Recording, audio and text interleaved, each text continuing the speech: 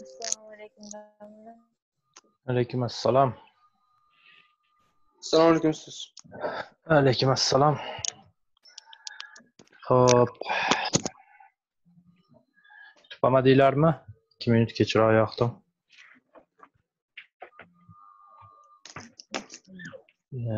ikki kundan beri yangiliklarni qidirish bilan boraman. Qanday qilsam dars chiroyliroq bo'ladi более привлекательный вид, да?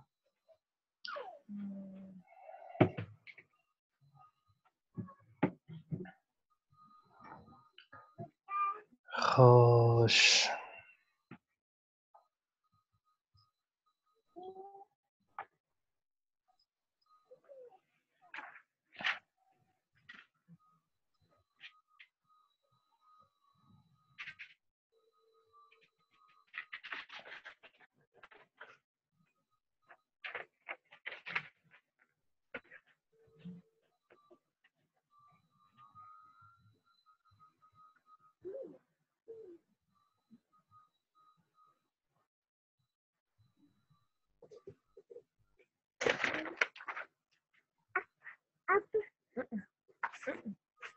Azimlerimizi düşürün. Azimlerimizi Azimlerimizi Şimdi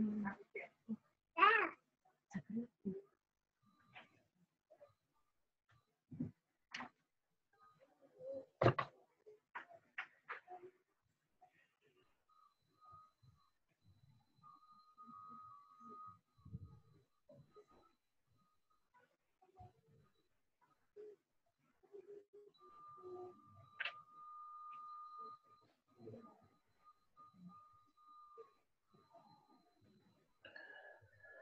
Hop. Nazimaxon yo'qmi? Bilmadim. Bugun gaplashganini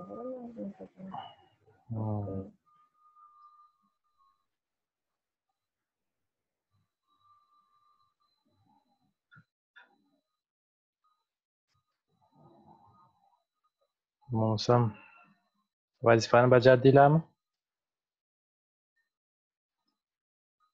ha bajardik Jasurbekni vazifasini ko'rdim, tekshirdim.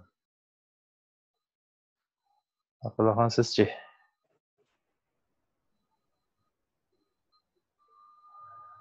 Bajarmadingizmi?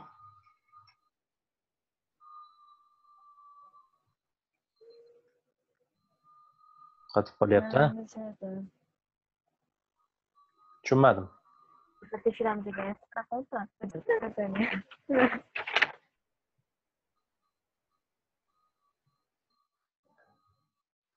Xo'p.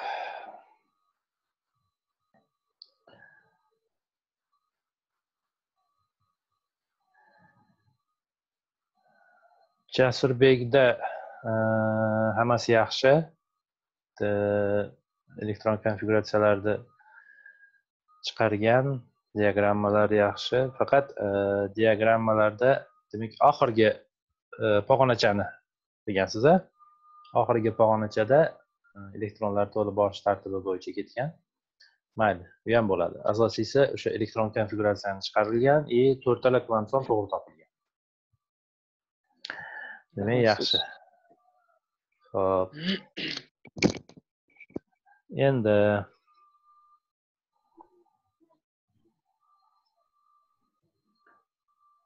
Xo'p, bir ikkita e, haligi o'zgarishi bo'ladigan holatlarda ha? E, alohida e, xususiy holatlar bor. Shularni ko'rib chiqamiz. Bularni demak elektron ko'chish holatlari deyiladi. O'tgan darsda shuni aytuvdik Elektron konfiguratsiyalarda vazifalarni bajarasizlar. Keyingi darsga alohida holatlarni, elektron ko'chish holatlarini ko'rib chiqamiz и elektron konfiguratsiya bo'yicha mashq qilamiz degandik. Demak, mana shu holatlar. Xo'p, aytaylik, xrom. xrom atomini elektron konfigurasiyasini chiqaraylik.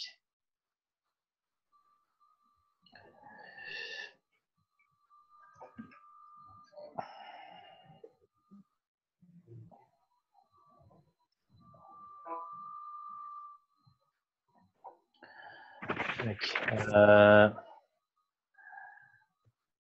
xrom plyus yigirma to'rtmi? Yigirma 24. Demak eh, ko'rinyapti ko'ryapsiz bir s ikki ikki s ikki ikki p olti ha? Ho'p o'nta elektron ketdi. O'n to'rtta qolyapti undan keyin uch s keladi uch s ikki uch p olti o'n sakkizta ketdi. Undan keyin to'rt s keladi to'rt s ikki va undan keyin uch d uch dga to'rtta qolyapti mana. Yigirmata ketdi elektron. Uch d to'rt bo'lyapti. Hm? endi qarang. Mana shu yerda e, pog'onalar pog'onachalar e, elektron bilan to'lgan pog'ona pog'onachalarni ko'rib chiqaylik. Birinchi pog'onada bir s bor. Bu elektron bilan to'ldi. Ya'ni ikkita elektron bor ha? Birinchi pog'onada. Ikkinchi pog'onada ikki s va ikki p. Jami elektron sakkizta. Demak ikkinchi pog'onaga sakkizta elektron sig'ardi. Bu ham to'ldi. Uchinchi pog'ona demak uch s va uch d. Uch sda sakkizta uch dda to'rtta jami nechta? O'n ikkita bo'lyapti? O'n ikkita to'rt sda esa ikkita ya'ni to'rtinchi pog'onada ikkita davriy jadvalda shunday e, ko'rsatiladi mana davriy jadvalda ochaylik bir yo'la e, ko'rib ketaylik ha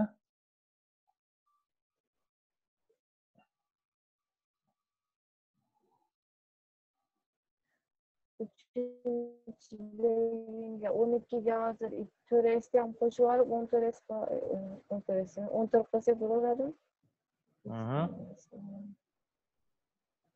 Ya, bu yerda yo'q ekan bunisini ochaylikchi mana xrom mana qarang xromda ikkita birinchi pog'onada elektron sakkizta ikkinchi pog'onada elektron uchinchi pog'onada o'n uchta to'rtinchi pog'onada bitta bo'lib qolyapti. Nima uchun? Bizda e, uchinchi pog'onada o'n ikkita to'rtinchi pog'onada ikkita bo'lyapti. Demak to'rtinchi pog'onadagi bitta elektron uchinchi pog'onaga o'tib ketyapti. Uchinchi pog'onadagi qaysi pog'onachaga o'tishi mumkin? uch dga o'tishi mumkin. To'g'rimi? Shuning uchun mana o'sha oxirgi e, pog'onani diaggrammalarida yo- yozadigan bo'lsak mana uchinchi pog'onada uch s ha? Uch s Mhm. undan keyin uch p bo'lyapti. Uch p undan keyin to'rt s bo'lyapti. Va uch d bilan to'rt s judayam bir biriga yaqin holatda joylashgan. Energetik holati yaqin ya'ni o'zi asli uch d uchinchi pog'ona past bo'lishi kerak. To'rt s yuqori bo'lishi kerak. Faqatgina e, o'sha n plyus l qiymati ya'ni bosh va orbital kvantson qiymati to'rt s ga nisbatan uch d niki yuqori bo'lgani uchun to'rt sda mana to'rtga nolni qo'shsak to'rt uch dda uchga ikkini qo'shamiz besh oshib ketyapti. Shu energiyasi judayam ozgina farq qiladi xolos.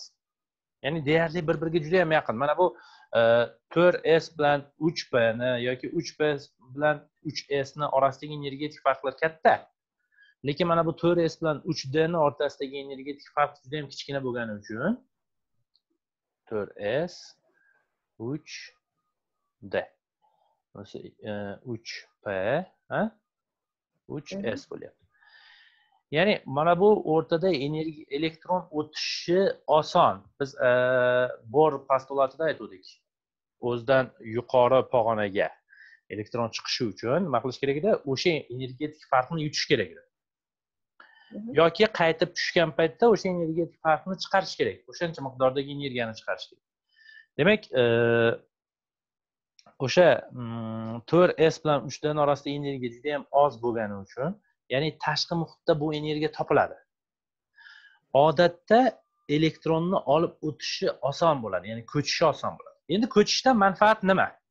Nima uchun faqat xromda ko'chyapti? O'n oltidagi vanadiyda yoki e, marginisda ko'chmaydi mana ko'raylik. Marginis bilan vanadiyni ko'raylik. E, mana vanadiyda to'rt sda ikkita turibdi. E, marginisda ham to'rt sda ikkita turibdi. Nima uchun xromda bitta o'tyapti ko'chish manfaat nima bundan? Ya'ni foyda nima uchun ko'chyapti? Mana ko'rib chiqaylik demak uch sga ikkita elektron joylashadi ikkita elektron. Uch pga oltita elektronni avval toq qaysi? Xund qoidasi bo'yicha avval toq keyin juft holatda joylashtirib chiqamiz. To'rt sga demak ikkita elektronni joylashtirdik. uch dda to'rtta elektron to'ralasi ham xund qoidasi bo'yicha qanaqa? Tog' holatda. Bitta bo'sh orbital yacheyka qolyapti. Ya'ni bu holatda. bu holatda e, atomning umumiy maksim e, spin kvant sonlari yig'indisi nechiga teng bo'ladi? Biz aytganmiz juft holatda nolga teng deganmiz plyus bir taqsim ikki va minus bir taqsim ikki nol bo'lib ketadi ular ham nol hammasi juft holatda nol. Faqat mana bu tog' holatdagilar hal qiladi. Demak bir ikki uch to'rtta toq elektron bor. Ya'ni e, plyus bir taqsim ikki to'rtta. Bu degani plyus ikki degani. Xund qoidasi bo'yicha nima edi? Elektron energiyani iloji boricha sarf qilmasdan toq joylashishga harakat qilish kerak.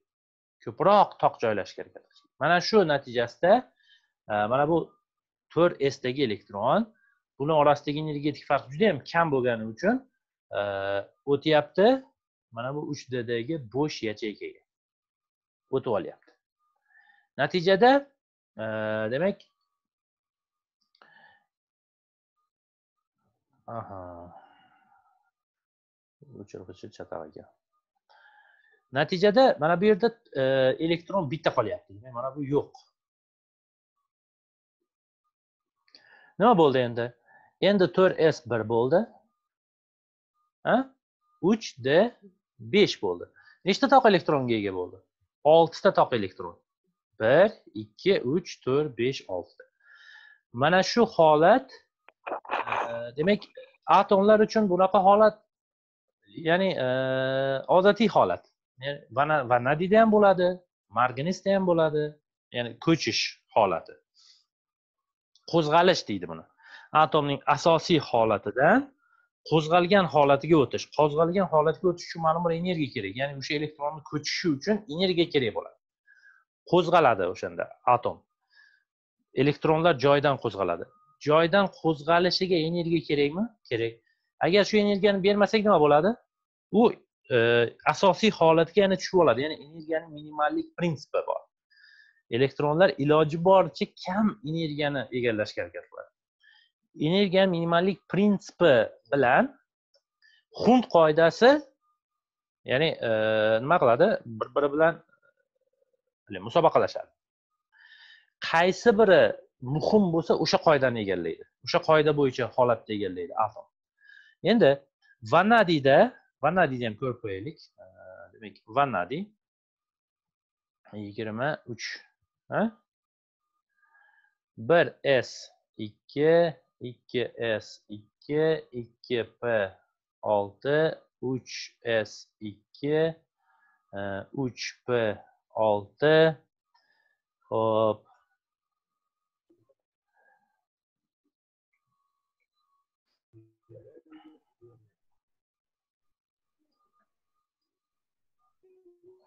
uch p olti to'rt s ikki uch d. Uch bo'ladi ho'p e, bu yerda ham ko'chish holati bo'ladi. Ya'ni to'rt sdan uch dga.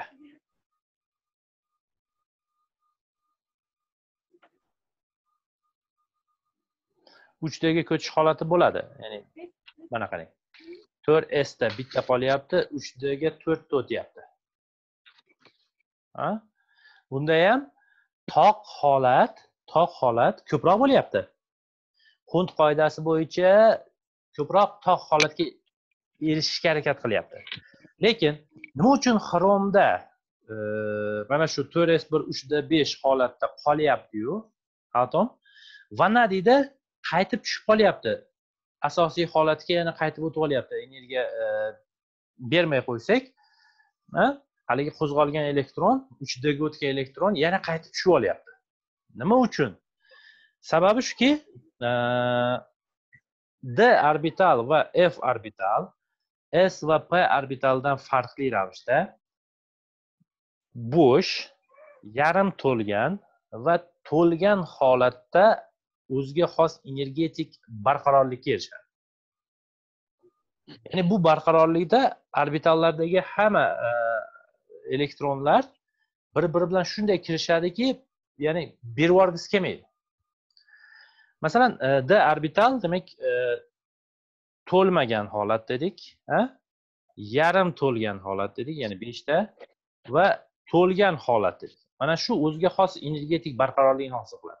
F orbitalda ham xuddi shunday. F orbital demak e, to'lmagan f orbital yarim to'lgan ya'ni yettita har birida bittadan toq va e, to'lgan holat.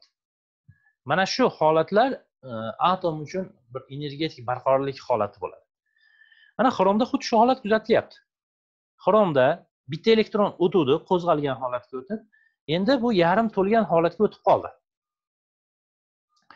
Yarim to'lgan holatdan endi energiyani elektronni qaytib bergisi kelmaydi mana bu uchta uchta pog'onacha. Beshala elektron bir biri bilan bir o'ziga xos kelishuvga erishib Э, bitta bir yaxlit sistema bo'lib qoldi. Vannadiyda bunaqa bo'lmayapti. Vannadiyda qarang bitta bo'sh yacheyka qolyapti baribir. Shuning uchun э, bu yana qaytib tushib oladida to'rt s ikki uchda uch bo'yicha qolib ketadi. Mana o'ziga xoslik. Demak atomda ikki xil holat bo'lar ekan qo'zg'algan asosiy holat ya'ni elektronlar iloji boricha past energetik qavatlardan to'lib borgan past energiyaga ega bo'lgan energiyani minimaliy prinsipiga amal qilgan holatdagi holat biz elektron konfiguratsiyani yozganimiz shu bo'ladi. Unga agar atomga energiya beradigan bo'lsak o'sha energiyani yutib elektronlar yuqori qavatlarga pog'ona pog'onachalarga ko'tarilishi natijasida qo'zg'algan holat yuzaga keladi. Xromda xromda mana shu qo'zg'algan holat mana shu holat asosiy holatga aylanadi va na deydi qo'zg'algan holat bo'ldi. To'rt s bir e, uchda to'rt holatga qo'zg'algan holatga o'tdi. E, yana qaytib asosiy holatga tushib olyapti. Sababi e, bu yerda d orbital to'lmagan yarim to'lgan yoki to'lgan holatga erishmayapti. Uchala holatdan bittasi yo'q. Shuning uchun e, asosiy holatga qaytib tushib oldi vanadiyda shuning uchun xromda elektron konfiguratsiyasini yozayotganda albatta to'rt s bir uch d olti deb yozishimiz kerak. Tushunarlika bu mana shu qo'zg'algan holat xrom uchun asosiy holat bo'lyapti. Demak bu xato emas jasurbekni xatosi emas. Buni albatta mana shunday tabiiy yozish kerak edi. To'g'ri yozilgan to'rt s ikki uchda to'rt holatda to'g'ri yozilgan. Lekin buni keyingi darsda o'tganimiz uchun e, o'tadigan bo'lganimiz uchun mana bugun o'tyapmiz. Shuning uchun uni xato deb hisoblamaymiz. Qolgan hamma narsa joyida. Ho'p misol uchun yana mis elektron konfiguratsiyasini ko'raylik. Mis atomini elektron konfiguratsiyasi. Mis atomi demak e, yigirma to'qqizta elektroni bor ho'p bitta narsani o'rganib olaylik. E, elektron konfiguratsiyani mana elektronlar ko'payib borgan sari elektron konfiguratsiyani yozishda noqulaylik kelib chiqadi uzun qilib yozish shart emas. Mana davriy jadvalda davriy jadvalda inert gazlar bor. Mana shu inert gazlar har bitta davrdagi elektronni to'lgan holati ya'ni e, tashqi elektron qavati e, duplet yoki e, aktet holatga ya'ni ikkita yoki sakkizta holatga erishgan. Geliyda ikkita. Mana. O'zi bitta elektron qavati bor bu ham bo'lsa ikkita. E, neon argon kripton e, ksenon radonlarda hammasida tashqi elektron qavati sakkizta. Ya'ni tashqi elektron qavatida aktet holatiga erishgan. Deyiladi. Mana shular o'ziga xos e, elektroni tashqi qavati valent elektronlari to'lgan atomlar deyiladi. Va mana shularni elektron konfiguratsiyasini e, biz haligi shablon qilib olsak bo'ladi. Masalan mis. Mis qayerda turibdi mana? Yigirma to'qqizinchi element mis e, mis atomidan oldingi inert gaz bu argon. Ya'ni o'n sakkizta elektronni bir s ikki ikki s ikki ikki p olti uch s ikki uch p olti o'n sakkizta o'n sakkizta elektron konfiguratsiyani yozib o'tirmaymizda. Biz nima qilib qo'yamiz? Mana bunday qilib qo'yamiz. Argon. Mana shu yerda o'n sakkizta elektron ketdi. Ya'ni uch p oltigacha bir s ikki ikki s ikki ikki p olti uch s ikki uch p olti o'n sakkizta elektron ketdi. Mana shundan boshlab ketamiz. To'rt s ikki o'n sakkizga ikkini qo'shsak yigirma. To'qqizta qolyaptimi? Uch d to'qqiz bo'lyapti. Ho'p buni elektron konfiguratsiyasida ham mana shunaqa ko'chish holati bor. Ya'ni to'rt s va uch d holatda.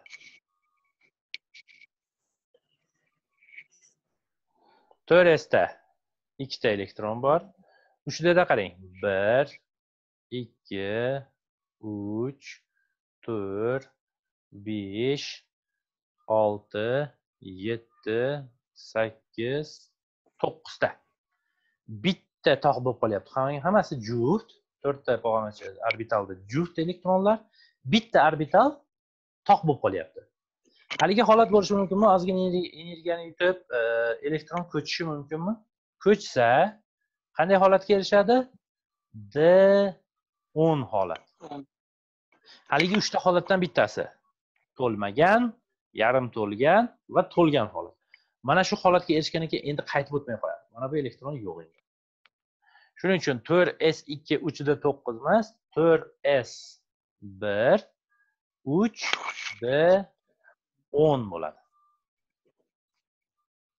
Ya'ni bunda ham mana shu ko'chish holati kuzatilyapti. To'rtinchi davr d bu d elementlarga xos bu ko'chish holati. To'rtinchi davr d elementlarida ikkita elementda mana shu qo'zg'algan holat elementning asosiy holati bo'ladi. Qolganlarida qo'zg'algan holat va asosiy holat alohida alohida va qo'zg'algan holatdan asosiy holatga tushib oladi. Lekin mana shu ikkita elementda xrom va misda qo'zg'algan holati ular uchun asosiy holatga aylanadi ho'p e, buni mana ko'rishimiz mumkin davriy sistemada ham. E, misda mana qarang ikkita sakkizta o'n sakkizta bitta bo'lib qolyapti uchinchi davrga maksimal elektron o'n sakkizta edi. Uchinchi e, pog'onaga ya'ni uchni kvadrati to'qqiz ikkiga ikki ko'paytirsak o'n sakkiz. o'n sakkizta bo'lishi kerak. Demak uchinchi pog'ona to'lib qolyapti. Nima uchun? uch d ham to'lgani uchun. uch s to'ldi uch p to'ldi uch d ham to'ldi. to'rt s bitta bo'lib qolyapti. Demak bunaqa holatlar d elementlarda o'nta. O'nta mana shunaqa ko'chish holatlari kuzatiladi. Bular qaysilar? Demak e, bular xrom xrom mis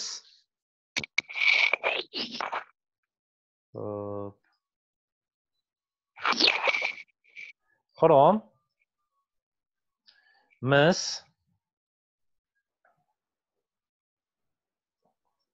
misda kuzatiladi Xo'p, 6-davrda mana bir turibdi niobiyda niobiy molibden Hop. Rodi bor. Palladiy bor. Va kumush. Hop. oltinchi davrda, bu beshinchi davr bo'ldi. oltinchi davrda e, platina va oltin xo'sh ruteniyda ham adashmasam ruteniyda ham bor ekan. Ruteniyda ham ko'chish holati bor. Hop volframda yo'q. Volframni bermadi nechta bo'ldi? Bir ikki uch to'rt besh olti yetti sakkiz to'qqiz o'n. O'nta elementda mana shu ko'chish holati kuzatiladi. Endi qarang to'qqiztasida bittadan elektron ko'chadi. Faqat palladiyda palladiyda ikkala elektron ko'chib ketadi. Ya'ni besh sdan to'rt dga ikkita elektron ko'chib ketadida shuning uchun mana bu yerda nol bo'lib qolyapti. Mana ko'raylikda.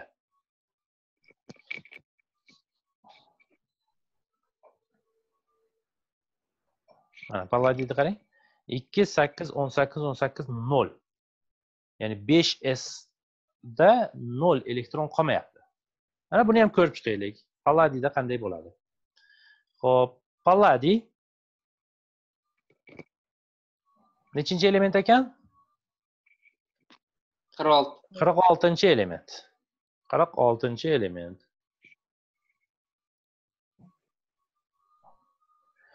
Buni ham yuqoridagi misni elektron konfiguratsiyasiga o'xshatib undan oldingi mana inert gaz kriptondan boshlab ketamiz. Demak kripton o'ttiz oltita elektroni bor kripton o'ttiz oltita elektron ketdi mana shu kriptonni ichida. Ana endi besh s bu to'rt s to'rt p bilan to'ldi. besh s ikki o'ttiz sakkizta bo'ldimi? Bizda qolyapti sakkizta elektron qolyapti. Mm. To'rt d sakkiz. Mana shunday holatda ham demak e, besh sda ikkita elektroni bor. To'rt dda bir ikki uch to'rt beshta ekaga sakkizta elektron joylashtiramiz. Bir ikki uch to'rt besh olti yetti sakkizta. Mana shunday holatda turibdi. Bu kriptonni e, palladiyni avvalgi holati. Endi tashqi e, muhitdan energiya olib bitta elektron ko'chdi. Mana bu elektron yo'q. Yana energiyani olib ikkinchi elektron ham ko'chdi. Nima bo'ldi? D o'n holatga erishdi endi bo'sh bo'laveradi bo'lib qoladi demak besh s nol to'rt d o'n holatga erishib qoldi faqat mana shu palladiyda ikkita elektron ko'chadi qolgan barcha hozirgi sanagan to'qqizta elementlarda bittadan elektron ko'chadi tushunarlika demak ho'p misdan Э, xromdan boshladik mana xrom xromda mana to'rt s bir uch d olti holatga o'tdi ya'ni yarim to'lgan holatga erishdi. D orbital e, vanadiyda bu holat kuzatilmadi. Misda to'lgan holatga erishyapti. Shuning uchun to'rt s bir uch d o'n bo'ladi elektron konfiguratsiyasi.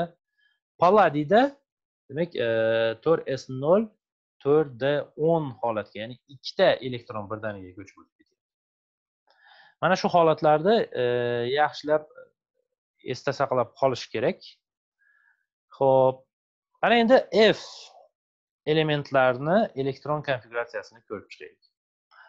Ho'p klichkovskiy qoidasi bo'yicha atom orbitallarni e, tartibini joylashtirganimizda esinglarda bormi shu klichkovskiy qoidasi bo'yicha atom orbitallar tartibi?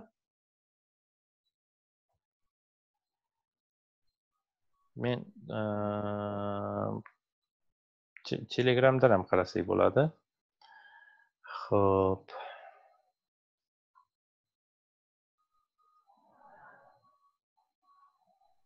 oxirgi darsimiz deydi adashmasam.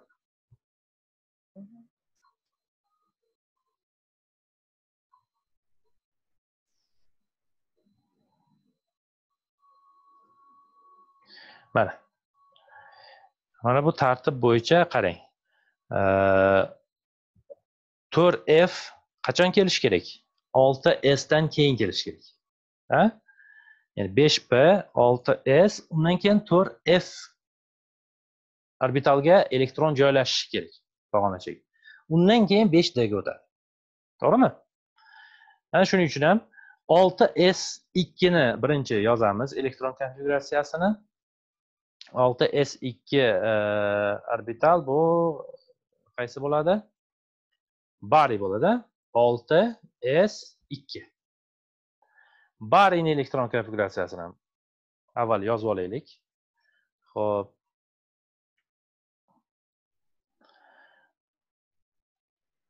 bari nechinchi element ekan? Hmm, ellik oltinchi element ekan hop plyus ellik olti qaysi inert gazdan keyin turibdi? Undan oldingi inert gaz mana ksenon. Ha? Ksenonda ellik to'rtta elektron bor. Ksenon deymiz. Ha ellik to'rtta elektron ketdi ikkita qolyapti elektronimiz. Olti s ga ikkinchisi undan keyingi element ellik yettinchi element qaysi element? Lantan lantan qarang lantanoidy deb ketyapti. Lantanoidlar ellik yettinchi element mana bu yerda lantan turibdi. Lantanni elektron konfiguratsiyasini ko'raylik. Ho'p lantan ellik yettinchi element. Bu ham demak ksenon. Olti s ikki ellik oltita ketdi. Bitta elektronimiz qolyaptimi? Qoida bo'yicha to'rt f ga tushishi kerak. Mhm. to'rt f ga tushishi kerak mana. Olti s dan keyin to'rt f ga tushishi kerak. Ho'p lekin to'rt f ga tushmaydi. To'rt f ga tushishi kerak haligi f holatni ko'rdikku e, d orbitalga o'xshab to'lmagan yarim to'lgan va to'lgan holati o'ziga xos barqarorlikka ega dedik mana shu to'lmagan holat barqaror holat. Shuning uchun e, lantanda lantanda elektron to'rt f ga joylashmasdan undan keyingi besh d ga o'tib ketadi. To'rt f nol bo'lib qoladi. Bitta elektron to'rt f ga joylashmoqchi edi. To'rt f bilan 5d orasidagi energiya oz bo'lgani uchun ko'chib o'tib ketdi. Qaytib tushay desa mana bu to'rt f aytadi yo'q deydi. Men menda deydi bo'sh holat men uchun juda yaxshi holat deydi. Agar yettita elektron bo'lsa ber deydi. Menga juda yaxshi holat yo o'n to'rtta elektron bo'lsa ber ya- juda yaxshi holat. Bitta elektroningni qo'y deydi o'zingni olib turaver deydi beshtaga. Endi albatta unaqa demaydi endi kvant kimyosini mana shu qonuniyatlar natijasida tushuntirilyapti shunaqa. Ho'p keyingi elementga o'tamiz. ellik sakkizinchi element. ellik sakkizinchi element qaysi bo'ldi endi? Seri. Seri. Seri elementini elektron konfiguratsiyasini yozamiz. Seri plyus ellik sakkiz demak bu ham ksenon olti s ikki to'rt f ana endi besh d turibdi. Qaysi biriga joylashadi ikkita elektron? Endi mana bu yerda bitta elektronni bu yoqqa o'tkazib yuborsa ho'p mayli dedi. Bitta elektron uchun ko'namiz mayli to'rt f erkalik qilyapti. Menga bo'sh tursam ja yaxshi bo'ladi menga ja yaxshi holat men uchun deyapti. Mayli unga ko'namiz. Lekin seriyaga o'tganda endi ikkita elektronni d ga o'tkazaman desa endi bo'lmaydi chunki buning uchun katta energiya kerak. Bir miqdor energiyani ikki barobar ortyapti. Ikkita elektronni o'sha energiyani bu yerda d ga o'tkazib yuborish kerak. Bunga u energiya yetmaydi. Shuning uchun haligi sistema buziladi. Barqaror sistema buziladi to'rt f ga ikkita elektron joylashadi. Besh d nol bo'ladi. Ya'ni lantan lantan bu d element. F element emas lantan d element bo'lyapti. Qarang mana d bo'lyapti oxiri. Fda yo'q to'g'rimi? Mana seriyadan boshlanishi kerak f element. Mana buni agar e, sanasangiz mana lantanoidlarda e, bari lantandan boshlab ketyapti sanang bir ikki uch to'rt besh olti yetti sakkiz to'qqiz o'n o'n bir o'n ikki o'n uch o'n to'rt o'n beshta f elementlar o'n beshtami fga o'n to'rtta sig'adiyu f elementlar o'n to'rtta. Lantan asli d element. Bu davriy sistemada xato yozib qo'ygan mana bu yerda lantan mana bu yerda turishi kerak. ellik yettinchi element lantan turishi kerak. Mana bu lantan bilan gafniyni orasiga seriya va lyutatsiyaga bo'lgan elementlar joylashishi kerak. F elementlar ya'ni ellik yettidan yetmish ellik sakkizdan yetmish birgacha bo'lgan elementlar mana bu yerda joylashishi kerak. Aslida davriy sistemani shakli mana bunaqa. Mana qarang. Bu sal murakkabroq ko'rinyapti lekin bu yerda hamma davr bir qatordan iborat. Birinchi davr ham bir qator ikkinchi davr ham bir qator uchinchi davr ham bir qator hammasi davrlar bir qatorda. Mana mana shu yerda lantanoidlar deb turib bunda ham demak f elementni lantanda f elementlarga qo'shib qo'yadi. F elementlarni o'n beshta qilib qo'yadi. F elementlar o'n to'rtta o'n beshta emas. Lantan bu d element. Nima uchun? Chunki elektron konfiguratsiyasi oxiri d bilan tugayapti. Ho'p mana demak e, f orbitalni atom orbitalini. To'lmagan holatini barqarorlik hosil qilishiga misol lantan elektron konfiguratsiyasi. Ana endi e, lantandan keyin kelyapmiz. Mana e, ikkita bo'ldi f ga uchta bo'ldi to'rtta bo'ldi beshta bo'ldi oltita bo'ldi yettita bo'ldi. Yevropiyni elektron konfiguratsiyasini yozaylik yevropiy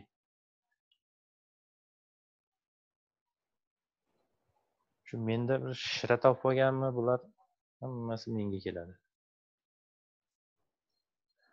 Yevropiy oltmish uchinchi element.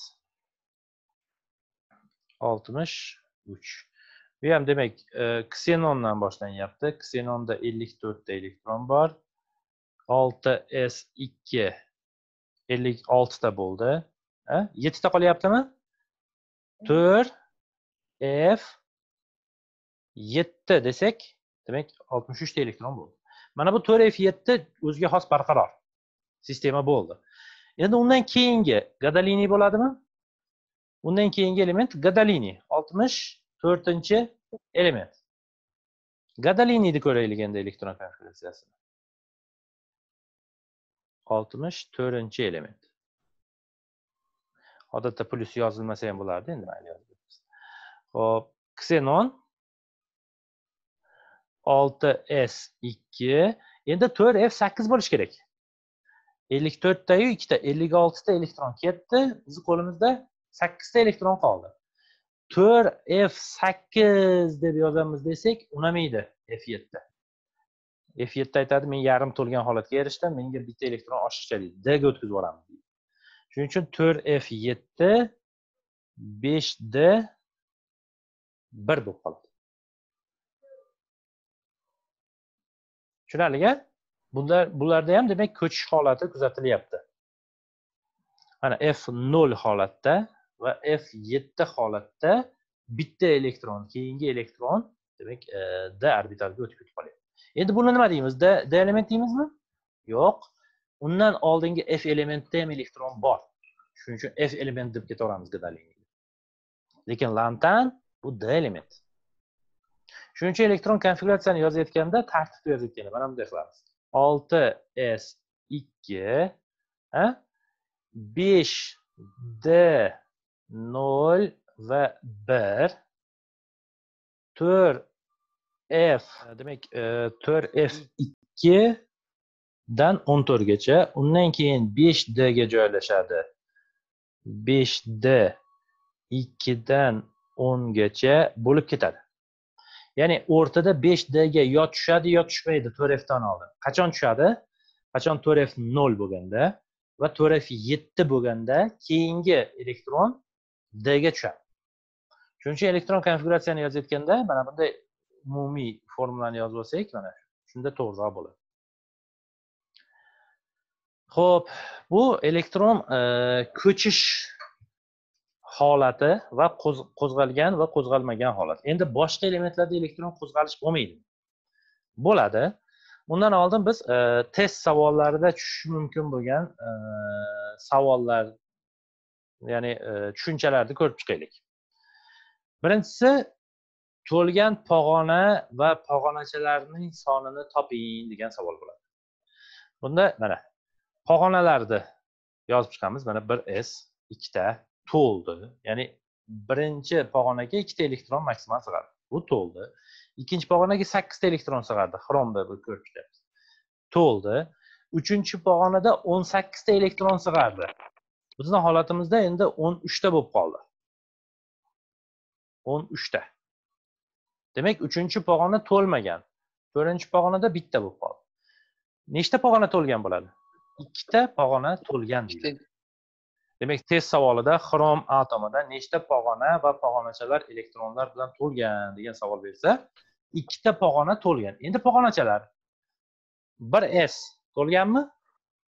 To'lgan. Ikkita elektron turibdi. Ikki sga ham ikkita elektron sig'ardi. To'lgan.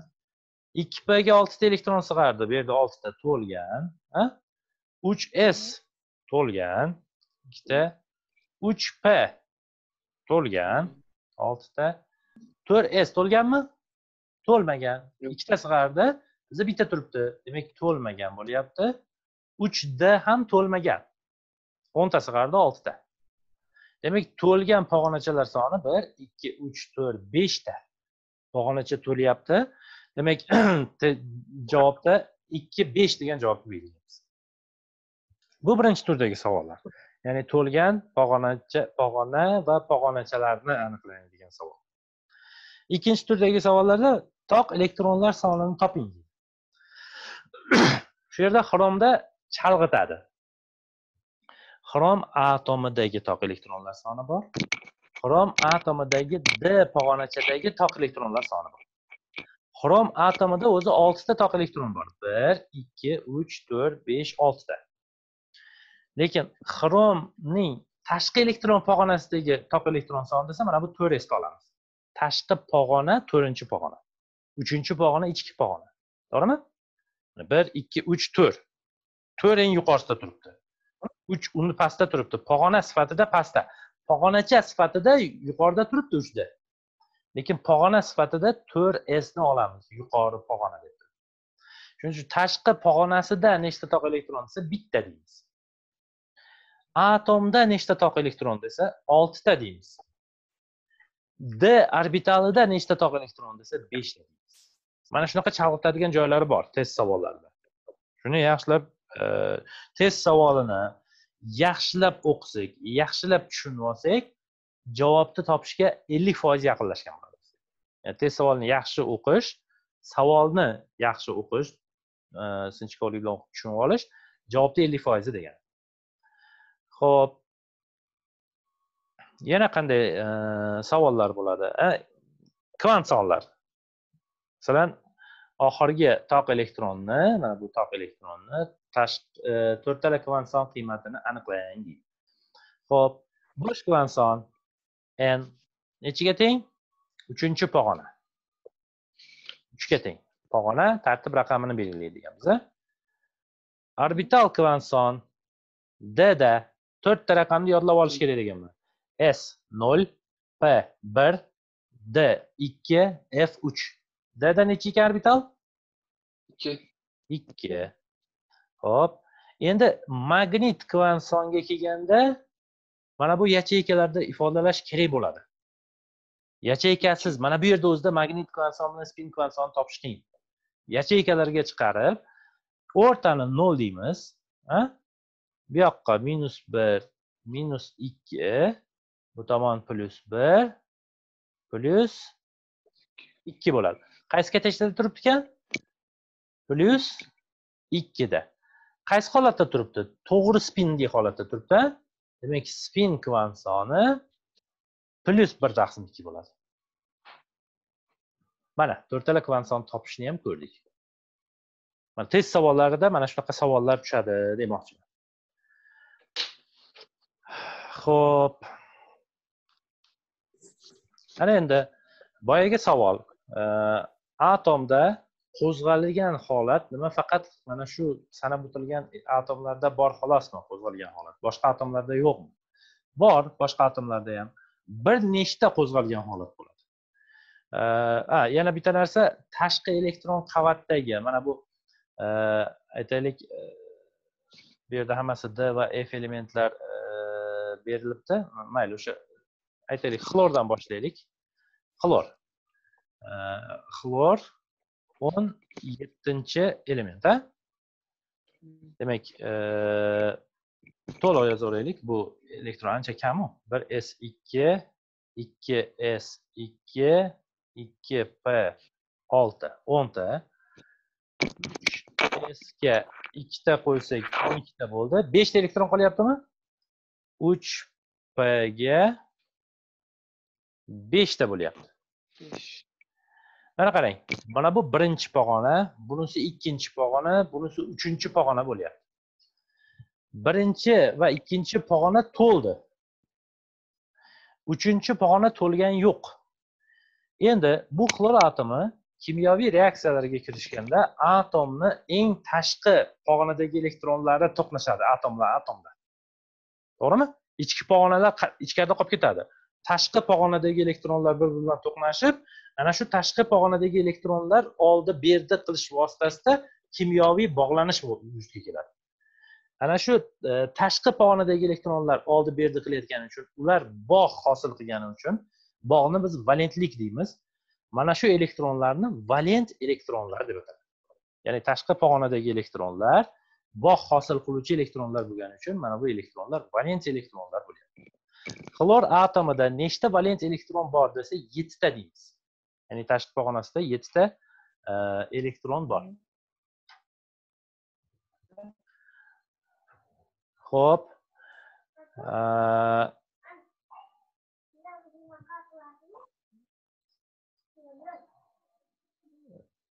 oy e, men e,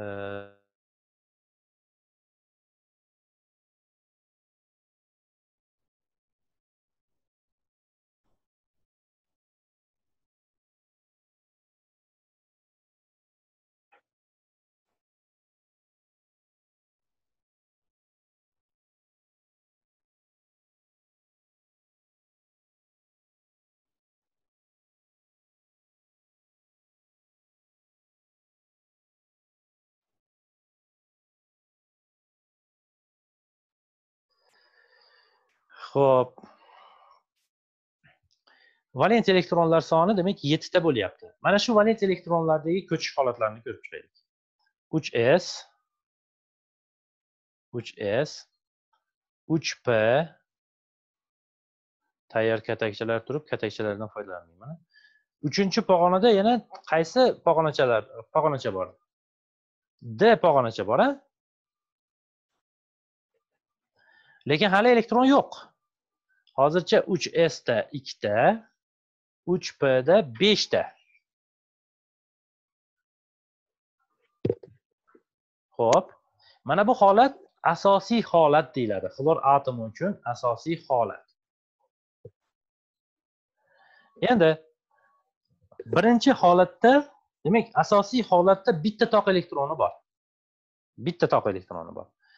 Endi tashqari muhitdan energiyani oldida mana bu bitta juft elektron mana bu orbitalga ko'chib o'tdi.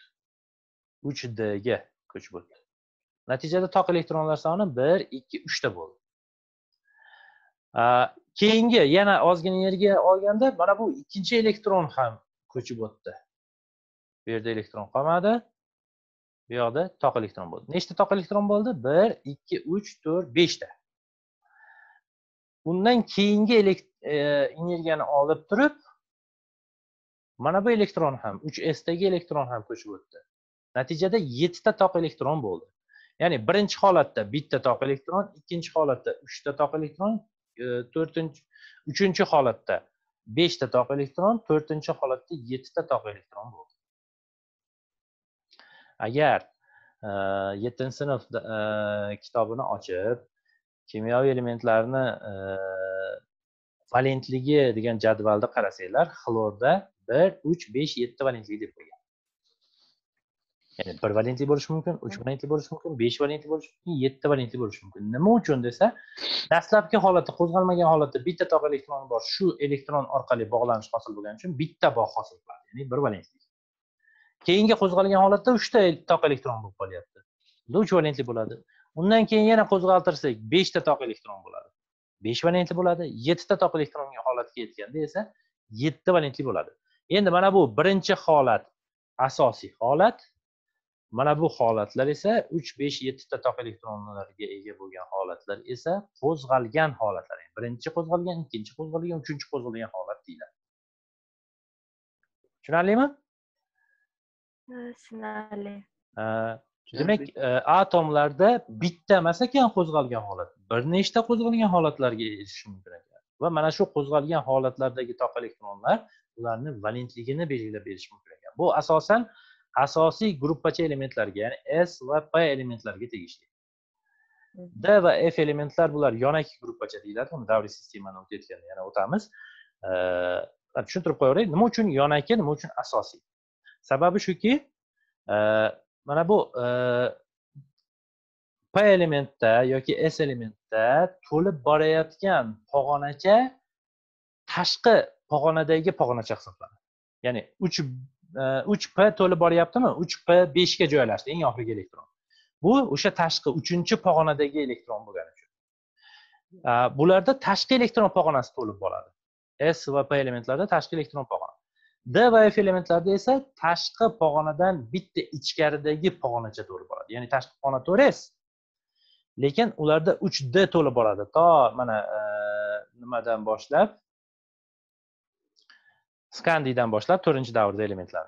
Skandiydan boshlab ruhgacha to'rt sda elektron joylashib bo'lgan undan keyin uch d bitta ichkaridagi pog'ona pog'ona to'lib boradi. Ya'ni uchinchi pog'ona to'lib boryapti. Shuning uchun bularni e, atomni asosiy xossalari mana shu tashqi pog'onadagi elektron konfiguratsiyaga bog'liq. Tashqi pog'onadagi elektron konfiguratsiya o'zgarishi bilan xossalar juda keskin o'zgaradi. Endi tashqi pog'ona hammasida to'rt s ikki ketyaptida d elementlarda. Endi xrom bilan misda to'rt s bir bo'lishini hisobga olmasak. To'rt s ikki ketyaptida uni undan ichkaridagi pog'ona to'lib boryapti. Uch d pog'ona to'lib uchinchi pog'ona uch d pog'onacha to'lib boryapti. Bunda esa qarang xossa deyarli o'zgarmaydi. Shuning uchun d elementlar skandidan to ruhgacha hammasi metall xossalari bir biriga juda yam yaqin mana bu asosiy gruppada gruppachada esa qarang farqini qarang.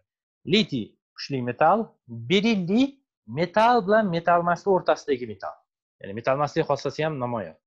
Borda metalmas ko'rdingizmi uchta elementni o'zida haligi keskin o'zgarib ketyapti xossalar bu yerdachi kaliy metal kalsiy metal skandiydan to ruhgacha metal hammasi. Nimaga? Chunki skandiydan to ruhgacha bo'lgan elementlarda tashqi pog'ona emas tashqi pog'onadan bitta ichkaridagi pog'ona elektronlar bilan to'lib boryapti tashqi pog'ona bir xil hammasida. Shuning uchun bularni xossalari juda yam o'xshash. Endi f elementlarni qaraydigan bo'lsak f elementlarda tashqi olti s emas undan bitta ichkari besh d emas undan ikkinchi ichkaridagi tashqaridan sanab kelganda ikkinchi ichkaridagi pog'onacha to'rt f elektronlar bilan to'lib borgani uchun bularda xossa deyarli bir xil hammasi. Ya'ni valentligi ham bir xil e, fizik xossalari ham juda yam o'xshash bo'ladi. Shuning uchun bularda e, xossalar o'xshash bo'lgani uchun yonaki gruppachaga joylashtirilgan. Mana bu e, s va p elementlar xossalari juda keskin farq qilgani uchun asosiy gruppachaga joylashtirilgan. Asosiy gruppacha mana s elementlar chap tomonda mana s elementlar p elementlari ham mana chap tomonda bo'lyapti. Asosiy gruppacha a deyapti. Guruh. Guruhni asosiy gruppachasi yonaki gruppacha b gruppachada d elementlar joylashyapti va f elementlar joylashyapti o'ng tomonda turibdi belgisi. Mana shundan ham bilsak e, bo'ladi asosiy va yonaki gruppachalarni ho'p menimcha tushuntirish kerak bo'lgan narsalarni tushuntirdim. Yana qanday savollar bor elektron konfiguratsiya bo'yicha? Demak test savollarida elektron konfiguratsiyasini toping yoki shu kvant sonlarga teng bo'lgan elektronni oxirgi elektron bo'lgan elementni toping ya'ni kvant sonlardan elementni topish mumkin. Misol ko'raylik shunga. Kvant sonlardan element topishga ho'p aytaylik mana n to'rtga teng orbital kvant son. Birga teng deylik. Magnit kvant son. Minus birga teng. Spin kvant son. Aytaylik. Plyus bir taqsim ikkiga teng bo'lsin.